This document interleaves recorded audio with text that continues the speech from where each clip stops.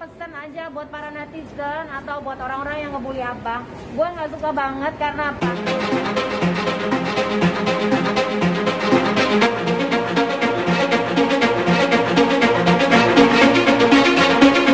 Terus jangan lupa di like, komen, dan subscribe terus di share juga ya. Teman-teman media. 5 tahun 7 bulan Lagi merdeka. Alhamdulillah.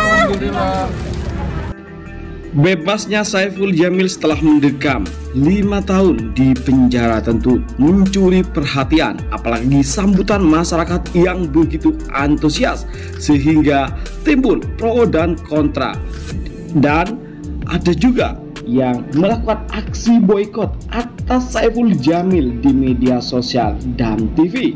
Begitupun dengan sosok sahabatnya yakni Bunda Inul Daratista yang terang-terangan membela sang sahabat yakni Saiful Jamil.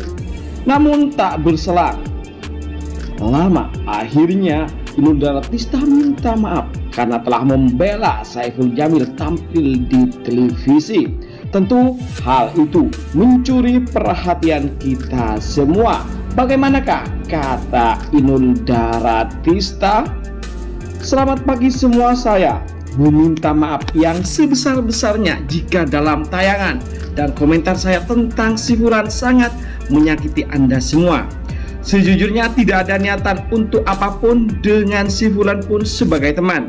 Bagi saya selalu melihat sisi baik seseorang saja meski tindakannya tidak baik.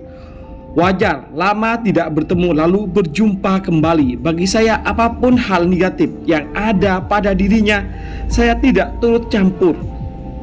Dalam sebuah program kadang kita dituntut harus bisa membuat isi dari program bagus dan menarik meski di luar on air tak ada hal apa pun yang harus dibahas dan dilakukan dan hubungan sebatas teman dan cerita apa pun soal si Fulan.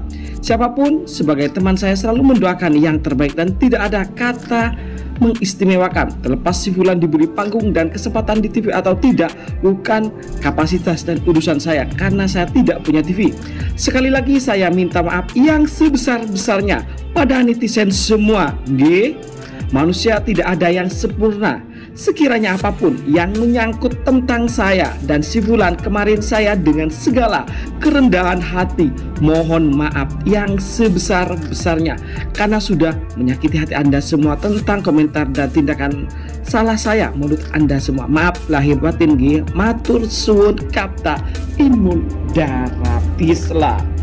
Lalu bagaimana kira-kira menurut kalian terkait hal ini? Jangan lupa kalian kasih komentar di bawah like dan subscribe tentunya tunggulah berita dan info terbaru terupdate tentang berita selebritis Indonesia.